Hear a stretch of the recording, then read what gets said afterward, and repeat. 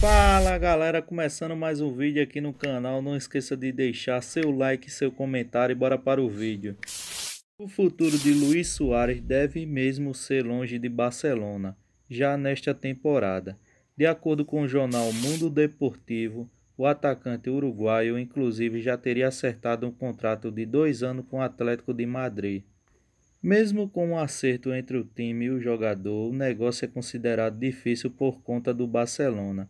Soares quer receber integralmente o salário desta temporada e o clube culé não quer liberá-lo de graça. Um dos motivos que facilitaram o acerto com o Atlético foi a desistência da Juventus o clube italiano desistiu da contratação de Soares por conta da demora do atacante em conseguir tirar o seu passaporte italiano. E este é o vídeo de hoje, galera. Beleza? Falou!